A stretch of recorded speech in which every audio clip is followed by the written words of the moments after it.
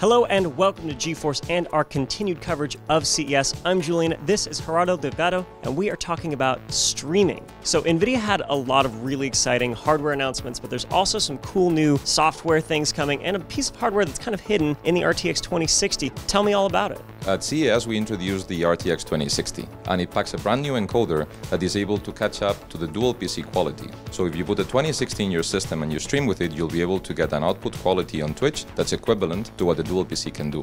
But we also did more. We've worked with OBS to improve the way OBS works with NVENC. And what we managed to do is decrease the FPS loss that you have to a point where you don't even notice it. So the pros have two PCs, they're running the game on one card, sending it to a capture card on another system, but now NVIDIA has this NVENC, right? The NVIDIA encoder that's present in all RTX chips. How does this work exactly? The NVENC chip, the good thing is that it's a separate part in the card, so that when you're encoding with it, your card is still running the 3D engine at full speed. But that separate card is just catching the buffer frame so that it gets the full quality of the frame and can encode it. The CPU hit is between 1 and 2%, is super low. The best thing of this is that it takes all of the complexity away. The only thing you need to do is pack in the card, just select NVENC in OBS, and you're good to go. So if I wanted to get into streaming before and really do it big like the pros do, that would be a significant investment. What does this mean if I'm, you know, more budget minded? Yeah, I mean, that dual system that we have here that we're demoing, just the PCs are $4,500. What happens is with the new RTX 2060, you can do it on a single system. And because the impact is so low on your system, you don't need that kind of hardware. So we're hoping that with this, more and more people will be able to get into streaming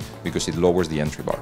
The RTX cards are also going to be launching in laptops, right? Is the NVENC going to be on the RTX laptop cards as well? Yeah, it's exactly the same NVENC, you get exactly the same quality, everything's there. Guys, thank you for tuning in here on GeForce. Don't forget, our CES videos have a contest going on. If you subscribe, leave a comment on them, you are entered to win an RTX 2080 Ti.